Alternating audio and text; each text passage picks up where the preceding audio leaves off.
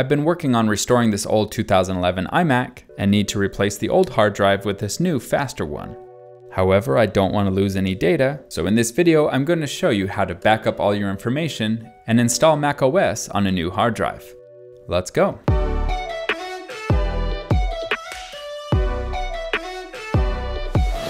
For this video, I'll be using a Western Digital Blue solid state drive, or SSD for short.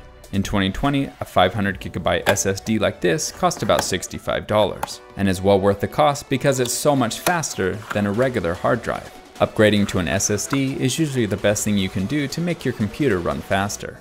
Now looking more closely, we can see there's a connection for the power and the SATA 3 cable. And on the other side is a big blue sticker. The only thing in the box were the instructions and the solid state drive. Now because this is a new drive, there's currently no data on it.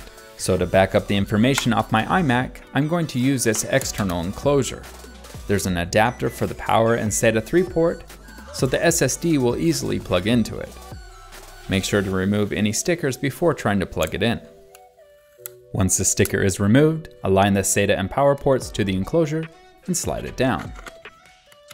Put the top cover on, and you're good to go. Last step is to plug in the USB cable. Notice that the USB port is blue, so that means it uses a USB 3 connection. Plug that same cable into the USB port on the iMac, then turn on the computer, and after it boots up, turn on the external drive. You'll then likely get an error message that says the disk is not readable. It needs to be formatted so it's Mac OS compatible instead of Windows, so to fix that, click Initialize. After waiting, you'll be brought to this new screen, where you can see the two hard drives located on the left. I highly recommend right-clicking and renaming the drives so you don't get them confused. This one here is the old hard drive, so click on it and you'll notice that it says macOS Extended Journaled. It's very important that you notate the exact format. Once you have that down, click on the new hard drive. Go to the top menu and click Erase. Then you'll be given the option to rename the drive and I'm gonna call it WD SSD so I know which one it is. Next, click the menu underneath the name field and make sure the format matches exactly with the old hard drive.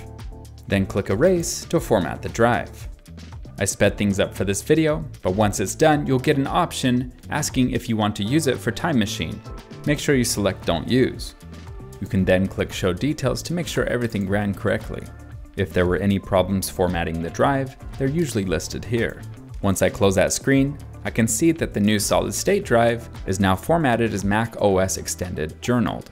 With the drive in the right format, I can now make a copy of my old hard drive to the new one. To get started with a copy, I need to first restart my computer. However, as it's restarting, it's very important that you hit Command R when it boots up. It may take a little bit longer to load, but once it's done, it will take you to the Utilities menu.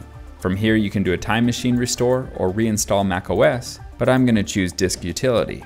From here you can see that there are three hard drives available. Even though it shows there's three drives, there's physically only two.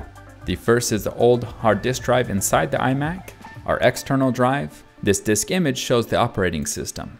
Clicking on the new SSD, we have two options. We can either do a clean install of macOS, or we can restore all the data from the old hard drive to the new one by cloning it. You don't need to do both options, but you'll want to choose one or the other. I'm just going to quickly show you how to do both. Now I'll show you how to do a clean install of macOS. Make sure you're highlighting the new SSD and go to the top and click Restore. You'll be shown a drop-down menu where you can choose which drive you want to copy. I selected the OS X base system option, which will allow me to make a copy of that to the new solid state drive. So to begin, go down and click Restore. This takes some time, so I'll skip ahead. I first want to verify that everything looks good, then I go down and hit done. Now you can see that instead of WD SSD, it now says OS X base system. This is just the base system, so you'll need to close this window and go to the previous screen and select reinstall macOS. When that's complete, it will be as if your Mac is brand new. You can also throw in a USB drive and make that bootable as well. Alright, now I'm going to show you the second option of how to clone a drive. Go up to the top and hit erase. Then I'm going to repeat the same process as before and select the right format, which is journaled.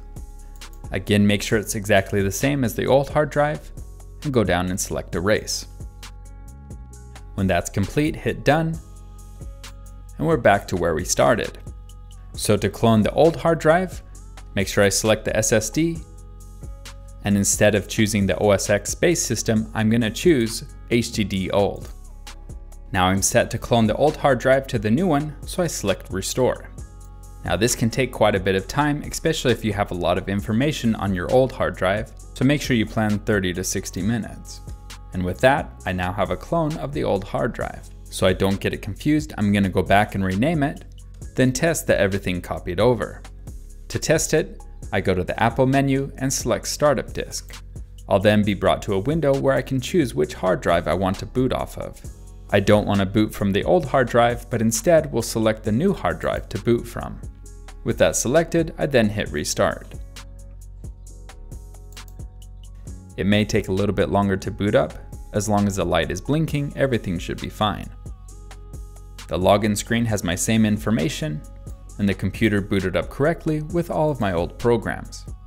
And I can see that I now have a cloned copy of the old hard drive on the new solid state drive. With everything copied over, I can now disconnect the solid state drive, but first need to shut down the Mac. I need to shut it down first and not just eject it because everything is booting off the external hard drive. And that's a win. We now have a copy of the old hard drive on this new solid state drive. If you want to see how to replace the old hard drive with a new one, check that video out. Thanks so much for watching and have a great day.